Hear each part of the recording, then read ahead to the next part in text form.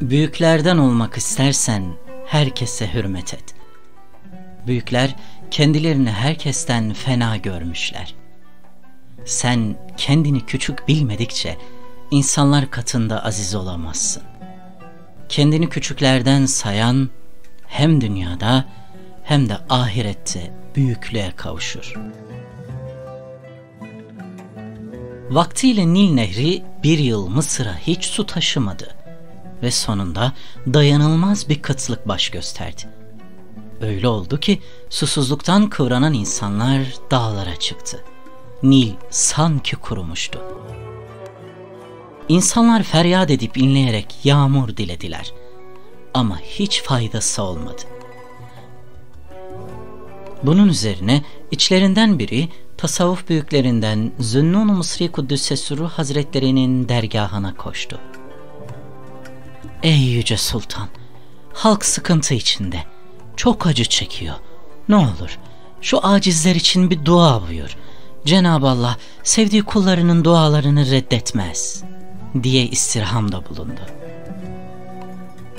Bu sözleri duyan Zünnun Mısri Kuddüs'e Sürru Hazretleri hemen hırkasını toplayıp şehri terk etti.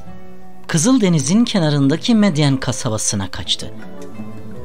Mısır'a çok geçmeden öyle bir yağmur yağdı ki halk suya doydu. Herkesin yüzü güldü. Aradan 20 gün geçti. Zünnun Mısri Hazretleri'nin bulunduğu Medyen'e yağmurun yağdığına dair bir haber geldi. Kara yürekli bir bulut Mısır'ın üstünde ağlamış. Yağmurun dolu dolu yağdığını ve toprağın suya doyduğu haberini alan Zünnun Mısri Hazretleri ülkesine geri döndü. Bu arada bu büyük mana sultanını ziyaret eden biri kendisine usulca sordu. Efendim, halk sizden dua istedi, etmediniz. Kalkıp Medyen'e kaçtınız. Bu şehri terk edişinizdeki hikmet nedir? Zünnun Mısri Hazretleri şöyle buyurdular.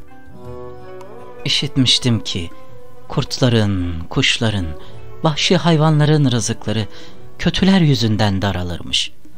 Çok düşündüm. Bu memlekette kendimden günahkar kimse görmedim.